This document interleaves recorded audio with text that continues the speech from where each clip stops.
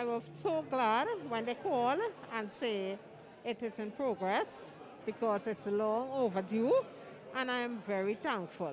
It's a relief, it's a joy, it's a, I'm ecstatic about it to the fact that you know you have your own property and your name now. Relief after waiting so long to call themselves landowners. The government aided self help housing program targeted residents with and without land and through their assessments allocated the lots to the deserving beneficiaries.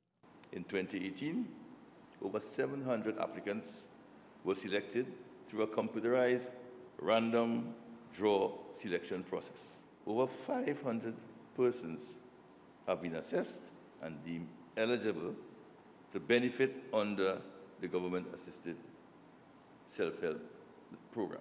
Minister in the Ministry of Housing and Urban Development, Adrian Leonce, says the main aim of the program was to help empower persons to manage the construction of their own homes with financial and technical support from the state. This aided self help program is designed for persons in the low to low middle income bracket who wish to acquire a residential lot or may have land but require assistance from the state to construct their homes. Through this initiative, the state has provided lots that are subsidized at 30% of the market value, whereas loans are subsidized at 2 and 5%.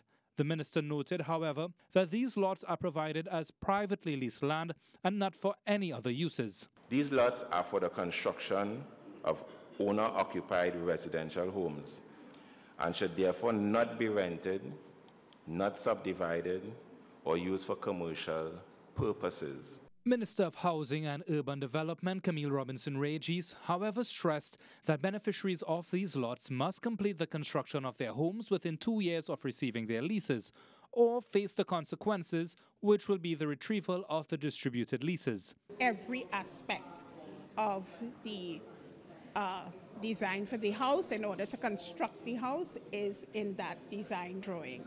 So we would be very uh, disturbed if someone has got the deed of lease and does not construct within the stipulated two-year period. Robinson Regis said that this initiative allows people the opportunity to put a personal touch on their homes since they will be more actively involved in the process of its design and construction. Rishard Khan, CNC3 News.